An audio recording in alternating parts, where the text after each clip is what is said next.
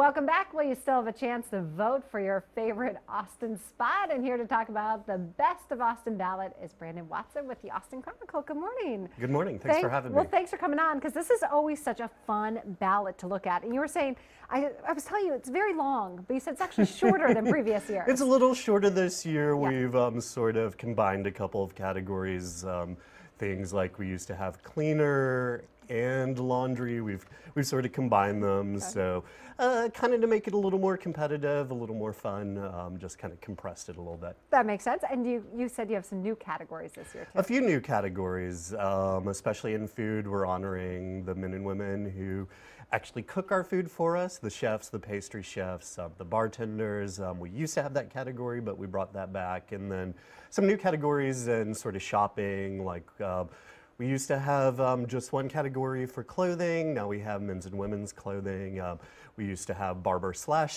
salon. Um, now we have separate categories for each of those. Awesome. And so, what's the most popular that people like to vote on? Um, well, the food categories are really popular. Of course, everybody in this town has opinion on best barbecue, best late night spot, those sort of things. But probably um, out of all of them, it's the swimming holes um, thing almost everyone votes in that. Everyone has yeah. there been like a consensus, or is it always it's, cross the board? Uh, I mean, it's it's this year it's pretty competitive um, between the finalists. Um, well, you would think Barton Springs would always win, but yeah. um, people have opinions. I'm sure they do, and since we've had some rain, some of our you know swimming holes off the trail are actually filled for this year. Yeah, I actually have some water. I know. So talk about how you come up with like the three um, different choices for each category. Well, we don't. Um, that is up to our readers. Um, the first round of voting is just a write-in um, ballot. So um, we just select everything that uh, that our um, readers put in. Sometimes it requires a little bit of um,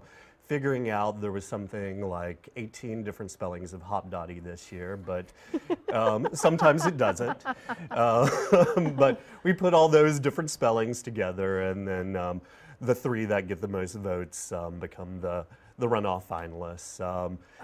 Or if there's a tie, um, sometimes like in the movie critic category, yeah. there's six this year um, wow. because there was just this this huge six-way tie between a lot of critics. Well, then you have to put them all in. You I have guess. to put them all in there. So yeah. how long do we have to vote, and then when do you select the winners? Um, it's only a week um, more, and then the winners will be announced on our um, November 11th issue.